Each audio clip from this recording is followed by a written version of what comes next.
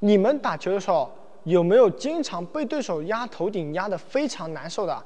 头顶球总是打不好，总是打得非常难受的。换个视角给大家看一下。首先，我们在打头顶球的时候，为什么你会感觉总是很被动，总是很难打？因为你在打头顶球的时候，有一个非常大的误区，或者说你对于步伐有一个非常大的误区。什么误区呢？就是你会觉得步伐步伐光用脚发力就可以了，所以你每次在头顶移动的时候，你向左后方发力，你都会怎么样？先动脚再动手。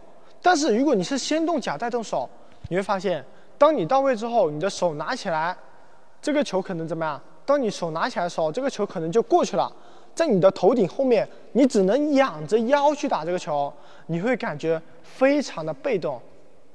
那我们怎么样让自己不那么被动，还可以让自己的移动速度更快呢？那就是在启动的时候，步伐的第一步不是动脚，而是动手。要怎么样？你要用我们的手怎么样？先做出我们的闪电加拍。我们在加拍的时候，手要迅速发力，让我们的手给我们身体一个向左后方的惯性，让我们的脚顺着惯性去移动，顺着惯性驱动。你看，一步两步。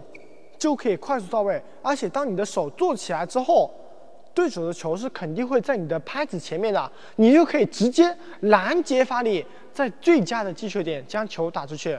这是第一点。第二点，就是我们的球要怎么样？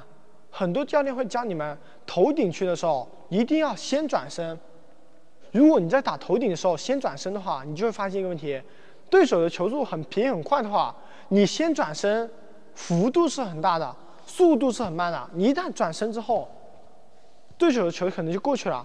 你垫一步、垫两步到位之后，这个球可能就到地上了。你还想转身击球，是来不及的。所以我们在打头顶球的时候，不要先转身，你要先判断对手是什么球，能明白吗？